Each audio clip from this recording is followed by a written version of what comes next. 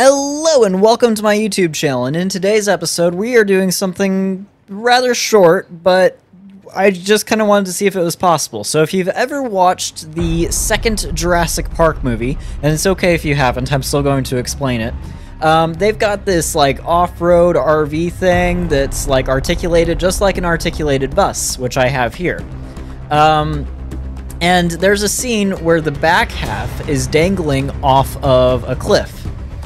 And this is not an RV, this is a bus, which means that the engine is in the back, which means that the heavy bit is actually in the back and the front is the light part.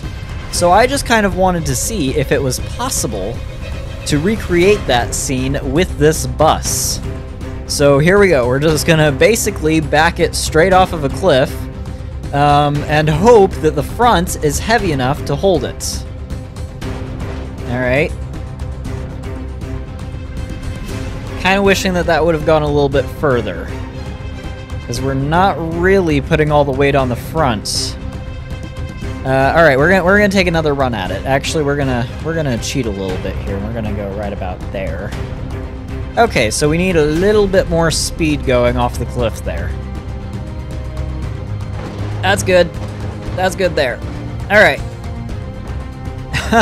it actually worked. So the back end is hanging off of the cliff, and the front is actually being held.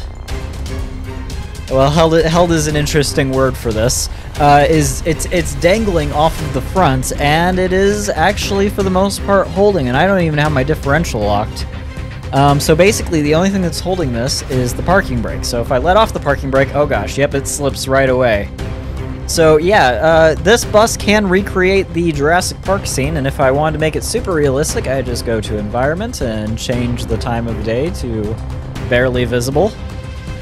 That kind of made the bus transparent. I'm not sure really what happened there. There, that's that's good lighting right there.